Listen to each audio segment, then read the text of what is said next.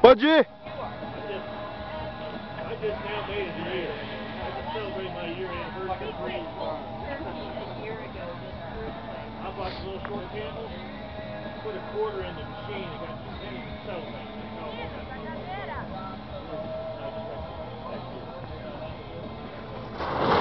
two pennies to celebrate.